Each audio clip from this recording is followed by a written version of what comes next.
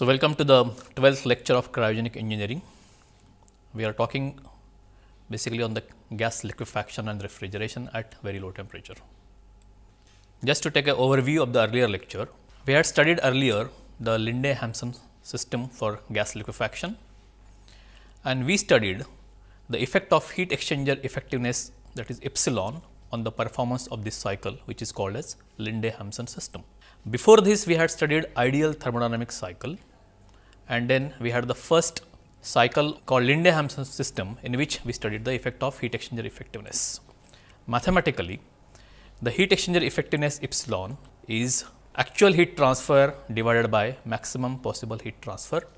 Thereby, the epsilon value will be between 0 to 1 that is 100 percent effectiveness when epsilon is equal to 1. We also saw that in a Linde Hampson cycle the heat exchanger effectiveness epsilon is h 1 dash minus h g upon h 1 minus h g meaning that h 1 dash minus h g is the enthalpy difference which represent actual heat transfer that is occurring in the heat exchanger divided by h 1 minus h g this is the enthalpy difference between point 1 and g and this is the ideal or maximum possible heat transfer that can take place when the effectiveness is 100 percent. This is we are talking at a lower pressure region or the suction pressure of the compressor side. And if we talk about the discharge pressure of the compressor side that means high pressure side, the same value can be interpreted as the actual heat transfer in this case now becomes H 3 dash minus H 2 at point 3 dash and 2 divided by maximum possible heat transfer which is H 3 minus H 2 these being the enthalpy values at point 3 and 2 respectively. At the same time the liquid yield Y for a Linde Hampson system is given by Y is nothing but the ratio of m dot f upon m that is the mass fraction of the m dot which gets liquefied which is called as m dot f. Okay. So, y is equal to h 1 minus h 2 minus 1 minus epsilon into h 1 minus h g divided by h 1 minus h f minus 1 minus epsilon h into h 1 minus h g.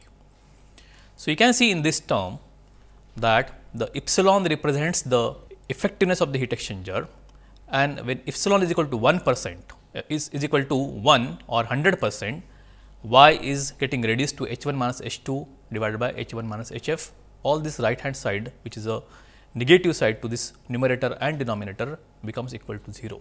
So, here you can understand that how sensitive the value of y is to the value of epsilon in this case. We have also seen the effectiveness should be more than 85 percent in order to have a liquid yield in the Linde Hampson cycle. We had seen with the help of a numerical that as the value of epsilon decreases and when it decreases below 85 percent, the value of y is very very close to 0 or almost 0 meaning which that the heat exchanger effectiveness should be very high, it should be much higher than 85 percent if you want to have a good value of y. And normally this value will be around 95 percent or above in order that you get a high value of y or a significant value of y in this case. With this background, the outline of today's lecture which is the topic of which is gas liquefaction and refrigeration systems we will talk about now a new system which is a pre-cooled Linde Hampson cycle. In the earlier time we had seen Linde Hampson system. Now we will see pre-cooled Linde Hampson system under which we will study the expressions or we will talk about how much Y is could be obtained with the pre-cooled Linde Hampson system that is liquid yield. What is the work requirement for this cycle and what is the maximum liquid yield for this cycle. And then we will compare the results obtained using this cycle with simple Linde Hampson system. So, what we will do is comparison between the simple and pre-cooled Linde Hampson systems. We have seen earlier that as the compression temperature decreases, the yield Y increases for a Linde Hampson system. This we had again seen with an example that if the compression temperature instead of happening at room temperature of 300 Kelvin, if it happens at 200 Kelvin, the value of Y increases or the yield increases. The method of cooling of the gas after the compression or before the entrance to the heat exchanger is called as pre-cooling. So, when we are pre-cooling basically what we are doing is we are pre-cooling the gas and we are pre-cooling the gas at the entrance to the heat exchanger or the first heat exchanger after the compressor. So, one way of doing this is basically we can reduce the compression temperature which is normally not possible because compressor compressor cannot work at lower temperature.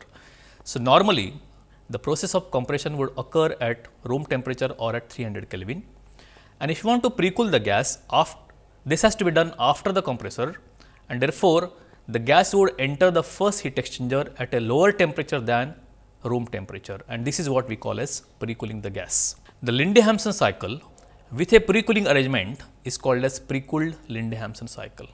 Right. So, normally we will call Linde-Hampson cycle that means a normal or a simple Linde-Hampson cycle, but whenever it has got a pre-cooling arrangement, it will always be called as pre-cooled Linde-Hampson cycle.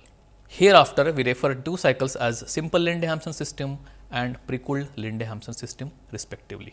So, let us see now what is included in the pre-cooled Linde-Hampson cycle. The simple Linde-Hampson system is shown in the figure and this is what he can see.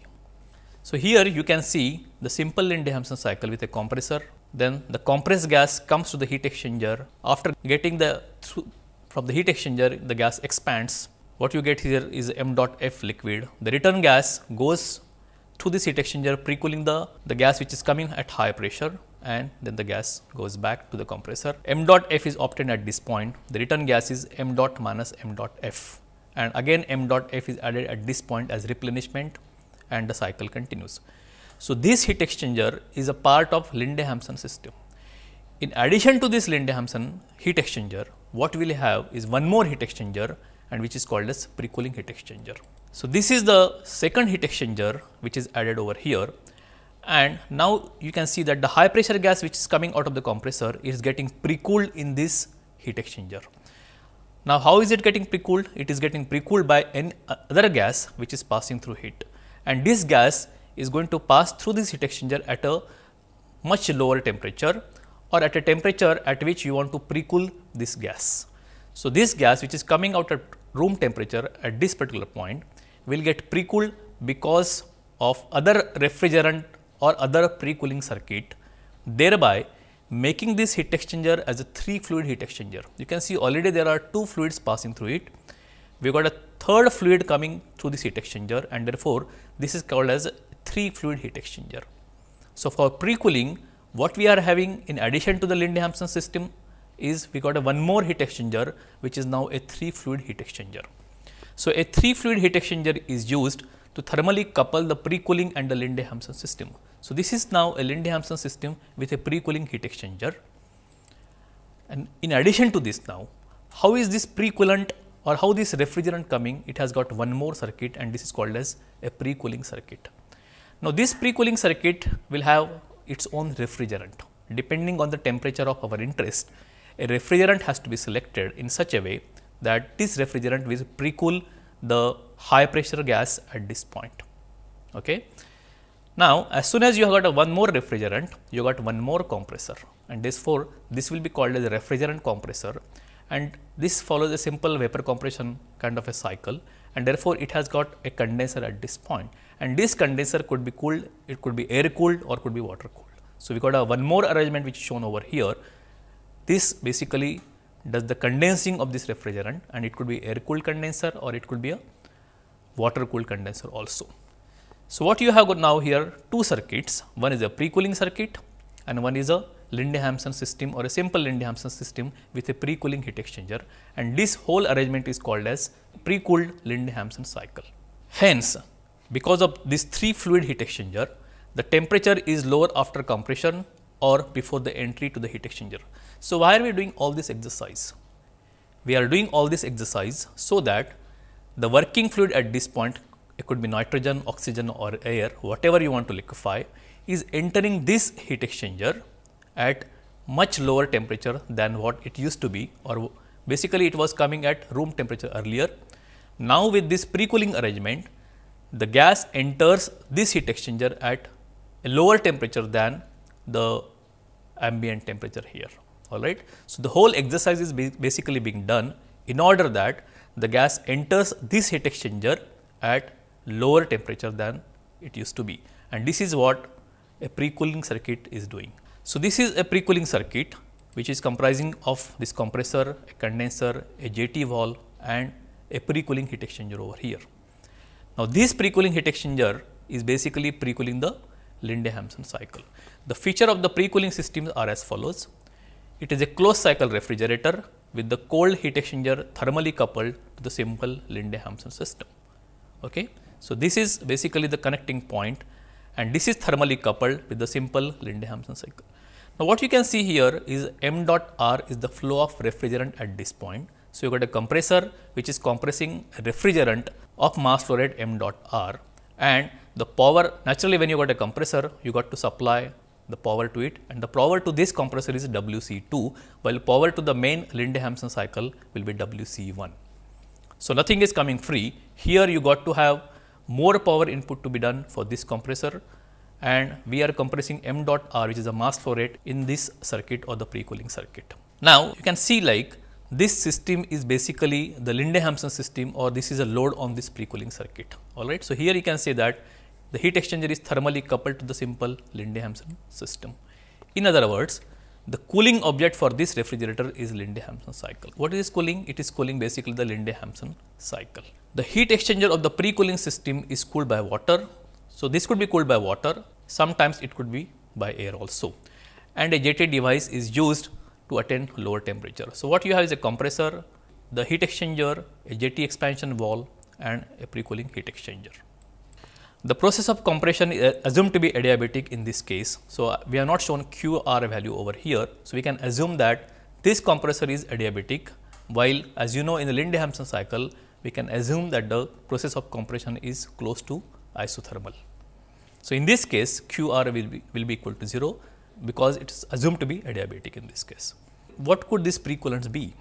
These precoolants are basically refrigerant and depending on your choice or depending on your pre-cooling temperature, whatever you want to consider depending on what you want to liquefy in the main circuit, we can have different refrigerants R134A, ammonia, CO2 etc are the common refrigerants in the pre-cooling systems.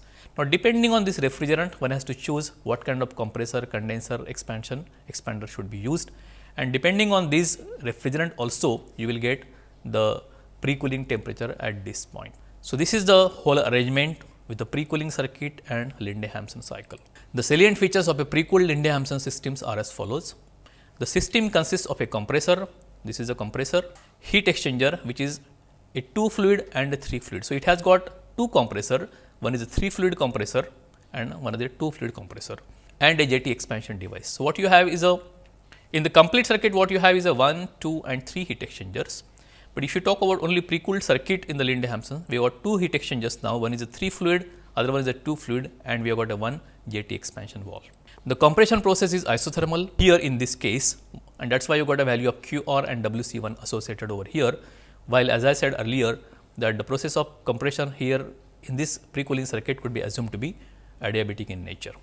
While the JT expansion is isenthalpic, you know that the expansion through JT is always isenthalpic. All the processes are assumed to be ideal in nature and there are no pressure drops in the system. So, when we are analyzing this cycle now, we will assume that all the processes are, are ideal, that means all the heat exchangers are ideal, all the expansions are isothermal, the adiabatic compressor over at this point and the isothermal compression process at this point. The heat exchangers are assumed to be 100 percent effective and the processes are isobaric in nature. The gas to be liquefied by the liquefaction system is called as primary fluid. We can call this as a primary fluid which could be nitrogen, oxygen, air, whatever you want to liquefy whereas the refrigerant in the pre-cooling system is called as secondary fluid. So, you can call this as the primary fluid or a primary system and this you can call a secondary fluid or a secondary system or a pre-cooling system also. So, one depending on the references you can call this is the primary circuit, secondary system or a Linde-Hampson cycle and a pre-cooled Linde-Hampson cycle etc. Lot of connotation, lot of ways of addressing this system. So, now if I want to represent the whole system on a TS chart which is what a very important task is, it will look like this. So, process we are talking about this now here 1 to 2 is a compression and 2 to 3 is a pre-cooling. So, here the gas gets pre-cooled from 2 to 3 at a temperature which could be called as the pre-cooling temperature all right? And then the gas gets further pre-cooled from 3 to 4 in a major heat exchanger at this point as you can see. Then there is the isenthalpic expansion. The return gas goes at G. It goes up to 6 at this point and then the gas gets warmed up to 0.1 in this pre-cooling heat exchanger. So, the whole processes are shown over here. And this temperature at 0.3 or 6 is going to be determined based on the pre-cooling circuit, based on the refrigerant which is flowing in the circuit, based on the pressure of this pre-cooling circuit etc. So, this is the most important thing now is what is the pre-cooling temperature and it will be decided by the pre-cooling circuit and also the requirement of the, the main Linde-Hampson system. So, this is what it would look like a pre-cooled Linde-Hampson system. The pre-cooling limit of the pre-cooling cycle alright. So, how much that temperature should be is governed by the boiling point of the refrigerant at its suction pressure. So, what this temperature could be? We want this temperature to be as low as possible alright and the lowest temperature that could be achieved by this is basically is going to be decided by the boiling point of the refrigerant in the pre-cooling circuit all right because we can't come below that thing and the pre-cooling is the boiling point at the suction pressure is going to be the lowest limit of this temperature would be all right. So, this temperature is going to be decided by the pre-cooling circuit and is also going to be decided by the type of refrigerant and its pressure that will decide this temperature. So, this temperature we can call it as TD which is the temperature that is shown in the pre-cooling circuit and this is nothing but equal to the, the boiling point of the refrigerant at the suction pressure of the pre-cooling circuit. Alright. This will be the lowest temperature at which it enters the heat exchanger. The boiling point of the common refrigerants at 1 bar are, if we assume that the suction pressure is at 1 bar, there are the boiling points of this refrigerants will be, for example, for CO2 it is 216 Kelvin, for ammonia or NH3 it is 240 Kelvin or for R134A the temperature could be 247 Kelvin. So, if we assume that their return pressure or the suction pressure is around 1 bar, this is what the lowest temperature they can achieve in the pre-cooling circuit. So, the gas would enter the heat exchanger at this lowest temperature if these conditions are maintained. So, this is what the circuit would be. Now, if I want to analyze this circuit further, I will consider a control volume for this system as shown in the figure and this is my control volume in which I am excluding the compressor and I am taking pre-cooled heat exchanger, main heat exchanger and the container. So, it includes three fluid heat exchanger, this is one, then JT device and the liquid container. So, this is what enclosed in this control volume and we apply the first law as we have done always in earlier lectures also. The first law is applied to analyze the system the changes in the velocities and the datum levels are assumed to be negligible as what we have been doing. The quantities entering and leaving the control volume are as follows. So, what is entering this control volume is m dot r at point D. This is a flow rate to the system which is m dot r refrigerant flow rate and it is entering at this point D and also what is entering is m dot at point 2. So, these are the two quantities which are entering the control volume all of the quantities are leaving the system or leaving the control volume. What are they? m dot r which is leaving at point A. Similarly, m dot minus m dot f leaving at point 1 and m dot f at point f. So, we say that whatever is coming in is equal to whatever is leaving in the system and therefore, applying first law what we have is m dot r h d we are taking enthalpies at various points and various temperatures and at respective pressures. So, m dot r h d r this is the energy at this point which is entering the control volume plus m dot h 2 which is entering at this point. So, whatever is coming in are these two energies and whatever are leaving are m dot r h a r which is at this point, m dot minus m dot f at h 1 which is at this point and m dot f h f at this point. So, the energy which is coming in is equal to the energy which is leaving the control volume. So, if I could do the same thing here, rearrange the terms what we get ultimately is m dot upon m dot, m dot f upon m dot which is nothing but y is equal to h 1 minus h 2 upon h 1 minus h f plus m dot r upon m dot into h a r minus h d r that is enthalpy difference across this heat exchanger divided by H 1 minus H f. So, what you can see we have got an expression now from this rearranging this, this term is the yield that is y is equal to the term which is normally common to all the which is simple Linde-Hampson cycle yield plus an additional yield over here which is coming because of the pre-cooling circuit. So, if we denoting the ratio m dot r upon m dot is equal to r that is the ratio of how much mass flow through refrigerant divided by the mass flow in the main circuit. So, if we have a relationship between the m dot r in the pre-cooling circuit to the m dot in the main circuit as r, the expression could be now written as y is equal to m dot f upon m dot is equal to H1 minus H2 upon H1 minus HF plus R times HAR minus HDR upon H1 minus HF. The first term in the above expression is the yield for a simple Linde-Hampson system. So, what you get normally in a Linde-Hampson system will be this. In addition to that, there is a second term now and this second term is coming as an additional yield because of pre-cooling arrangement. The second term is the additional yield occurring due to the pre-cooling of the simple system. Alright. So, this is an additional yield which we are getting because the gas after the compressor here is getting pre-cooled to temperature T3 or T6. Basically getting pre-cooled to T3 because of the refrigerant coming at this point in this 3 fluid heat exchanger. So, this is the role which is played by the pre-cooling circuit. So, the expression is now y is equal to m dot f upon m dot is this.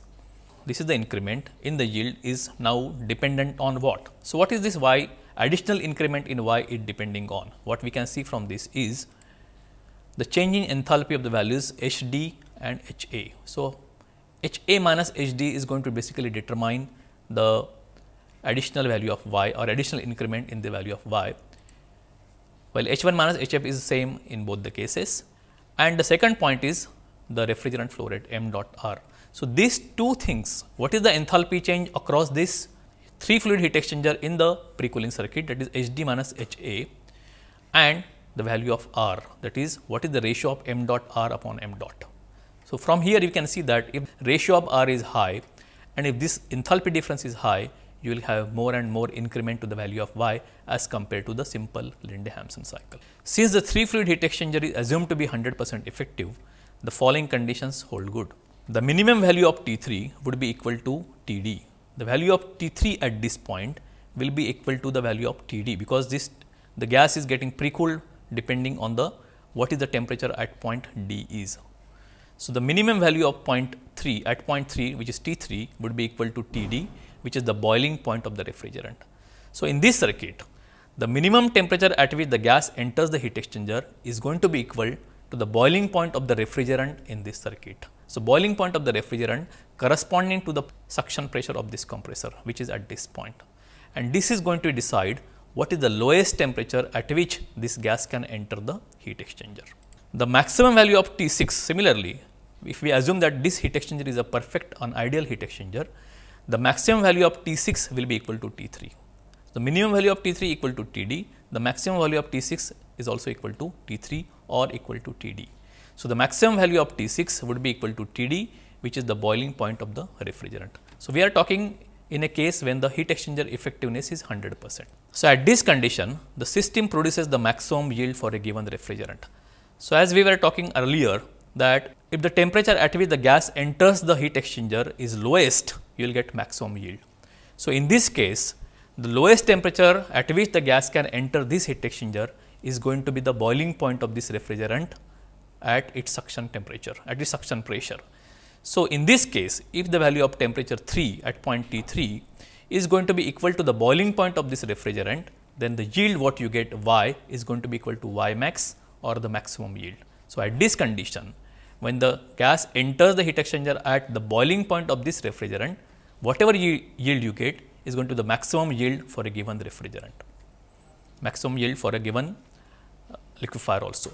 So, mathematically, if we want to have y is equal to y max, if you want to have maximum yield, then T 3 equal to T 6 is equal to T d and T d is nothing but equal to the boiling point of the refrigerant in the this circuit or at this particular pressure.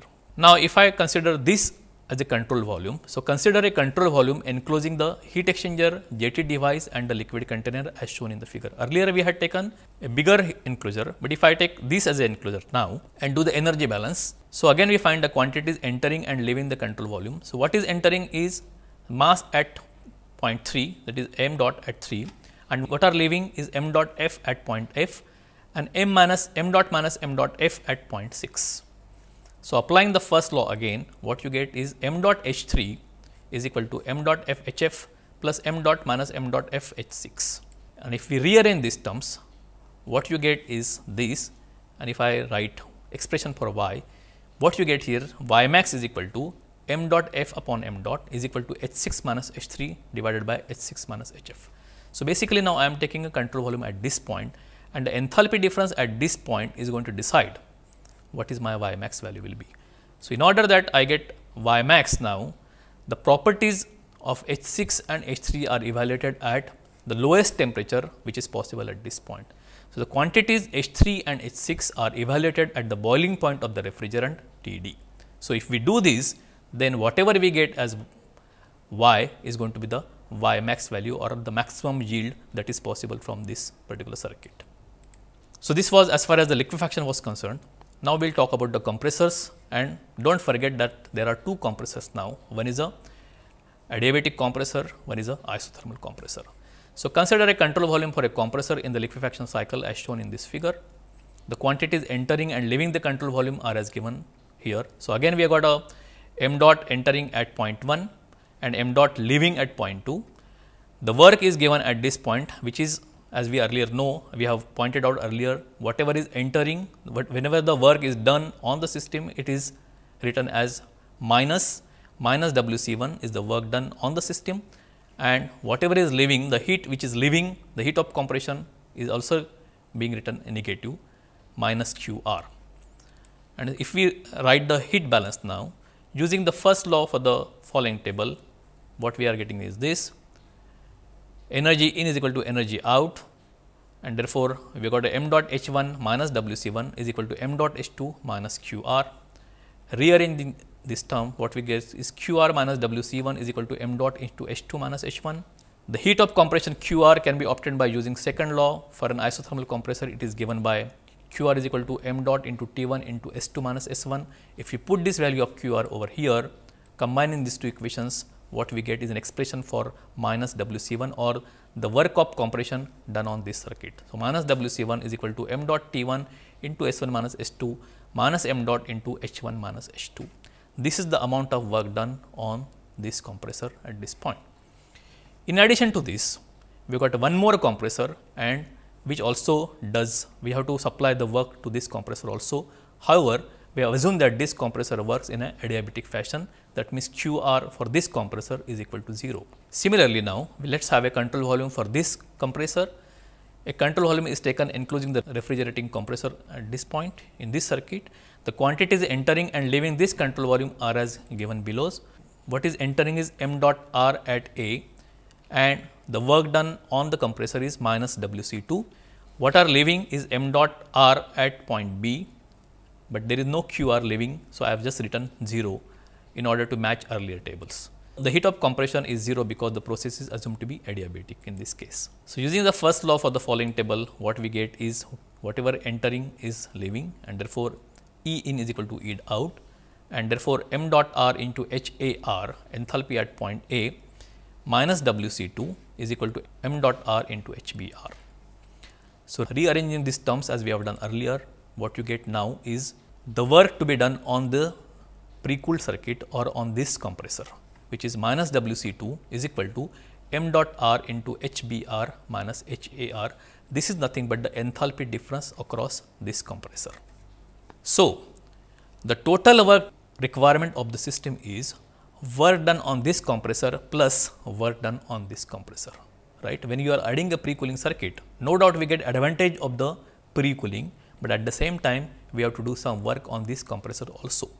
So, the total advantage of this pre-cooling circuit should be weighed with respect to this work additional work which is required to be done on this compressor also. So, the total work done is equal to W c is equal to W c 1 plus W c 2. If we add these values of minus W c 1 for the work done for this compressor plus minus W c 2 which is the work done on the refrigeration compressor. If we put them together we get this expression.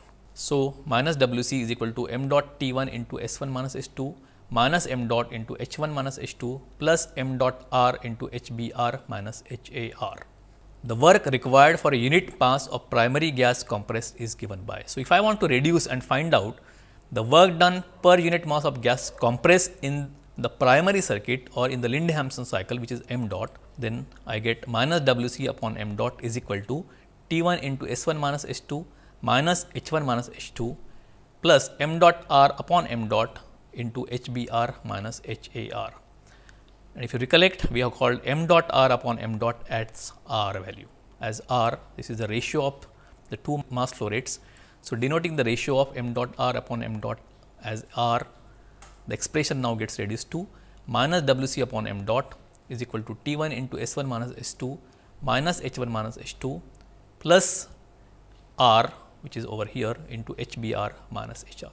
So, this is the expression which I get for the total work done on this pre-cooled Linde-Hampson cycle. So, here you can understand that the first two terms are coming from this primary cycle or the primary circuit. The first and the second terms are the work requirement in the simple Linde-Hampson system. This was our expression earlier. This expression has come because of the additional circuit or the pre-cooling circuit and the third term is the additional work required to pre-cool the system. So, one can really find what is the work done on this cycle from the pre-cooling cycle and from the primary cycle.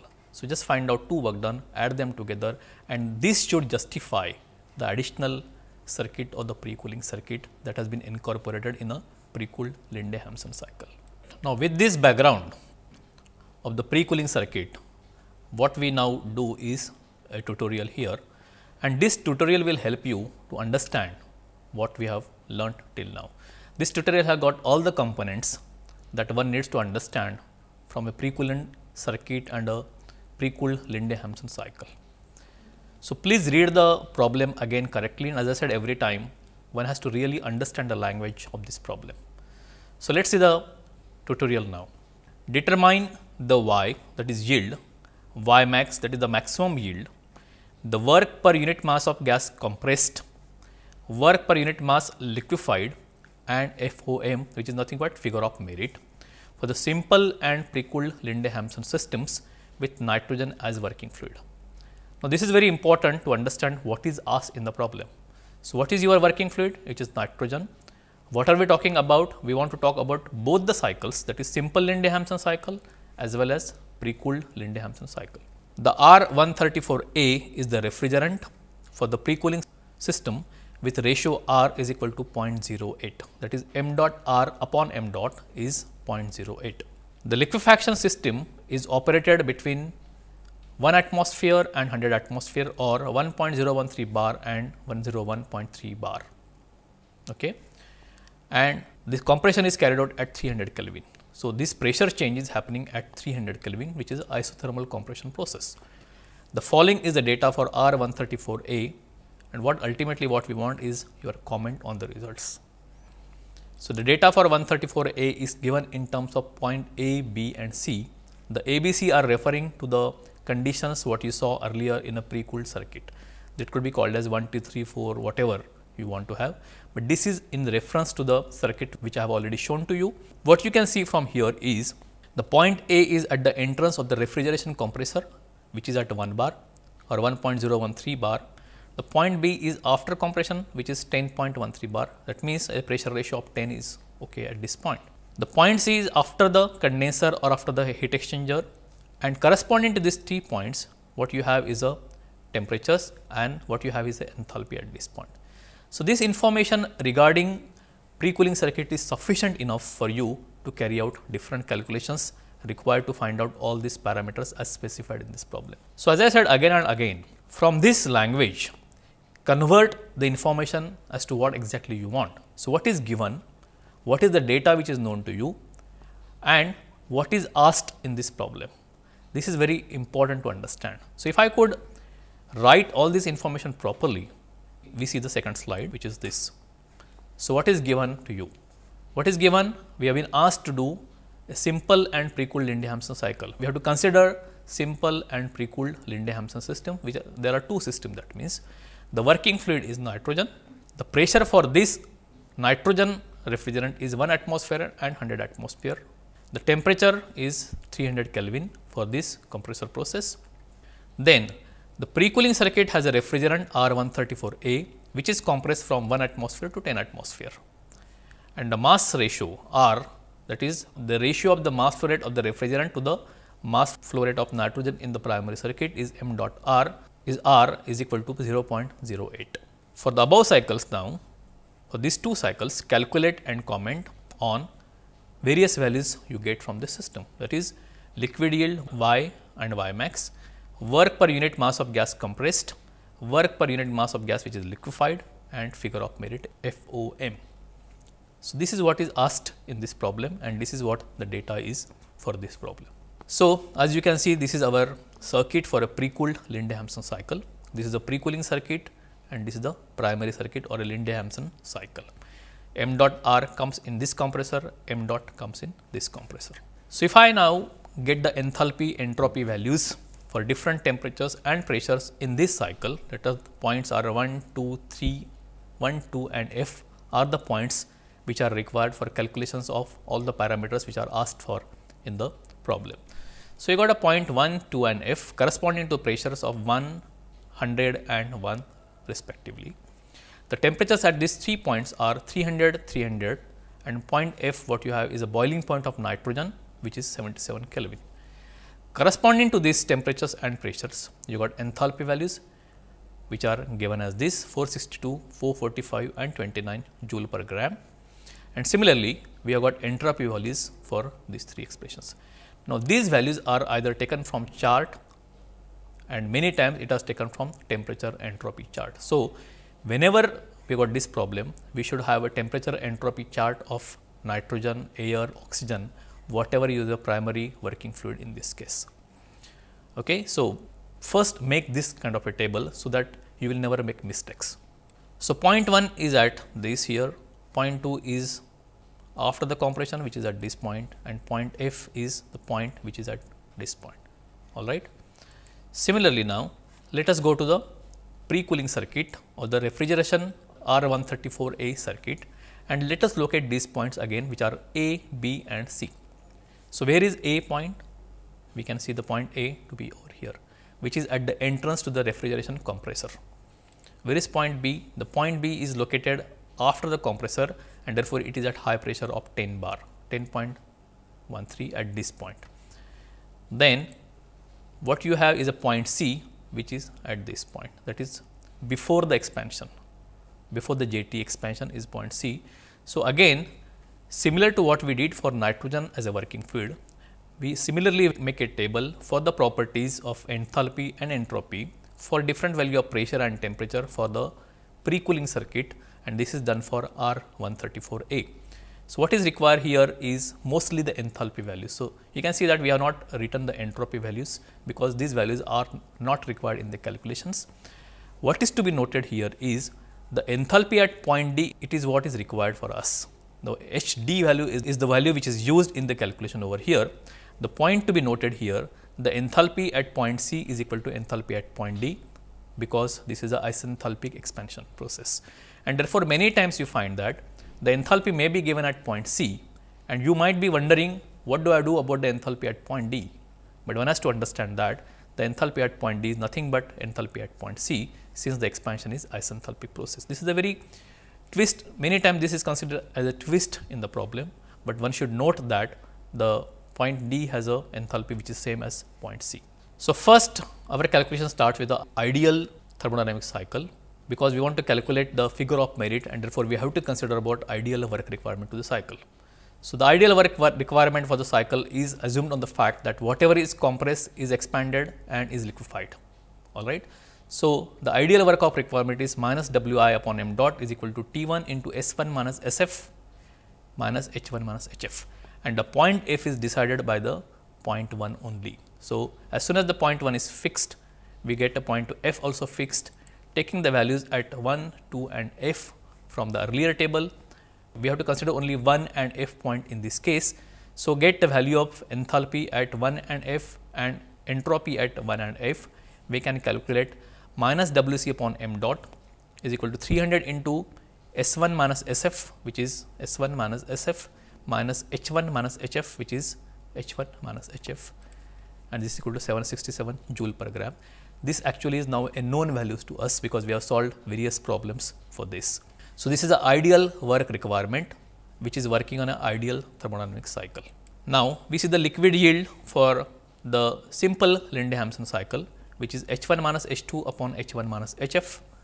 Again take the value of enthalpies at 1 and 0.2, we can calculate the value of y is equal to H 1 minus H 2 upon H 1 minus H f which is equal to 462 minus 445 upon 462 minus 29 these are the enthalpy values 1, 2 and f respectively.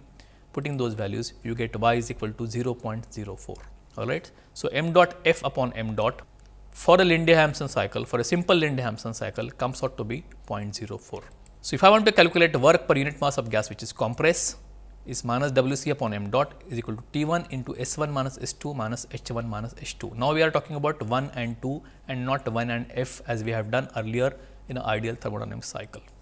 So, putting those values again for enthalpies and entropies, what you get is a 379 joule per gram as work done per unit mass of gas compressed in a simple Linde-Hampson cycle. If I want to convert that to work done per unit mass of gas liquefied, from Wc upon m dot is equal to 379, I have to know the value of y. If I divide this by y, what I get is work per unit mass of gas liquefied. We have done solved these problems in the earlier lectures. So, minus Wc upon m dot f is equal to minus Wc upon m dot divided by y which is equal to 379 upon 0.04 which is equal to 9475 joule per gram. So, this is the work done per unit mass of gas which is liquefied in this case. So, the figure of merit if I want to calculate is equal to what you get W c upon m dot f is equal to 9475. What you got as W i for ideal thermodynamic cycle is W i upon m dot f is equal to 767 and so the figure of merit in this case is equal to 767 upon 9475 is equal to 0.081. This is my figure of merit for the simple Linde-Hampson cycle. What I am now consider is a pre-cooled Linde-Hampson system and the corresponding temperature entropy diagram for the pre-cooled Linde-Hampson cycle is this. So, you can see now 1, 2 and the point at point 2 is getting pre-cooled up to point 3 and at this point the pre-cooled gas enters the heat exchanger. Okay. So, point 0.3 is basically no pre-cooling temperature. The state properties are as tabulated below and here you can understand now 1, 2 and F are as we saw earlier corresponding enthalpy and entropy values are given over here. The liquid yield now in this case is given by this formula which we have derived earlier is equal to y is equal to m dot f upon, upon m dot is equal to h 1 minus h 2 upon h 1 minus h f plus and this is the additional increment in the value of y which is coming because of the pre-cooling. So, into R into H A minus H D upon H 1 minus H f. Well, as you remember this H A and H D are the enthalpy of the refrigerant at point A and D respectively, which is nothing but the enthalpy across the three fluid heat exchanger or across the pre-cooling heat exchanger of the pre-cooled Linde-Hampson system. From here, what we know is the value of R is equal to 0.08, all right. So, if I put these two tables together, one table is for 1 2 F which is for nitrogen and point A, B, C are meant for R 134A pre-cooling refrigerant. And corresponding to those pressures which is 1 bar and 10 bar, what you have is a enthalpy values. So, at point A, B and C we have got enthalpy values over here. And at, as you know that the value of H d in this case is equal to the enthalpy at point C as it is undergoing isenthalpic expansion from point C to point D. So, putting these values in this expression now y is equal to h 1 minus h 2 upon h 1 minus h f which is a standard value plus the additional increment that is going to come because of pre-cooling circuit is 0.08 into h a minus h d which is 390 minus 260 divided by h 1 minus h f again 462 minus 29 thereby giving the value equal to 0.063. So, the yield now has increased to 0.063 for the pre-cooling circuit. And again I will do the same exercise of calculating work per unit mass of gas compressed and work per unit mass of gas liquefied. So, if I want to calculate work per unit mass of gas compressed, I have to use the formula for this. This is the additional increment in the compressor which is going to come because of the refrigeration compressor. So, what you get is a normal compressor which is first two terms in addition to that what you have is plus R into HBR minus HR. This is nothing the additional work that has to be done for the pre-cooling circuit for which the value of R is 0.08 and if I add those enthalpy again from this table what I get is 386.3 joule per gram. So, work done per unit mass of gas which is compressed is 386.3. Now, I want to calculate work per unit mass of gas nitrogen which is liquefied. Okay. So, we will calculate for the unit mass of gas which is liquefied WC by m dot is 386.3, y is equal to 0.063 and therefore, WC upon m dot f is equal to WC upon m dot divided by y is equal to 386.3 divided by 0.063 is equal to 6131.7 joule per gram. So, as soon as I want to calculate and I will want to compare the value of work done per unit mass of gas liquefied from the pre-cooling circuit from the pre-cooled Linde-Hampson cycle to the simple Linde-Hampson, these are the values to be compared in order to justify the usage of pre-cooling circuit or the pre-cooled Linde-Hampson cycle. The figure of merit is this divided by this, the ideal work input divided by the actual work and therefore, figure of merit is this divided by this which is equal to 0.1251. So, this is the figure of merit for this case for the pre-cool cycle. So, what we have done is we have considered ideal thermodynamic cycle, we have considered simple Linde-Hampson cycle and we have also considered pre-cooled Linde-Hampson cycle and we would like to compare all the values obtained from these three cycles. The problem also wanted to understand the Ymax value also. The Ymax value or the maximum liquid yield is going to come when the pre-cooling temperature is equal to the boiling point of the refrigerant which is nothing but 247 Kelvin. See if I get y is equal to y max, when T3 is equal to T6 is equal to Td is equal to 247 Kelvin. We have studied this earlier and from this formula y max is equal to S6 minus H3 upon S6 minus HF for R is equal to 0.08 we get 0.074. The y max value happens to be 0.074 temperature of pre-cooling equal to 247 Kelvin. Okay. And therefore, if I want to have a comparison between the simple pre-cooled circuit, you can see that for a simple cycle it was 0.04, Y value was 0.04 which got increased to 0.063. If I talk about the work done per unit mass of gas compressed, this has increased from 379 to 386. This work done has been increased because there is additional work which has come from the refrigeration compressor in this case for the pre-cooling circuit. However, if I want to understand what is the work done per unit mass of gas liquefied and that is what is very critical, we can see that it has reduced down from 9475 to 6131 which justifies the usage of pre-cooling circuit and the figure of merit is has increased from 0.081 to 0.1251. If I want to compare the same thing for the Y max value, so that the pre-cooling is done to 247 Kelvin, corresponding to that you can see that the Y value increased to 0.074 provided that pre-cooling temperature is now 247 Kelvin.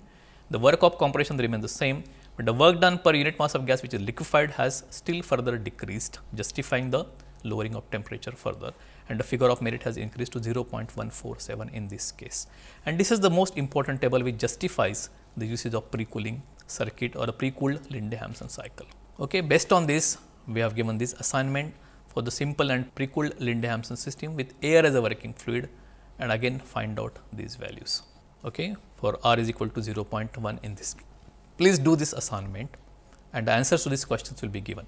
In order to summarize what we have learned in this particular lecture, the method of cooling of the gas after the compression or before the entrance to the heat exchanger is what is called as pre-cooling.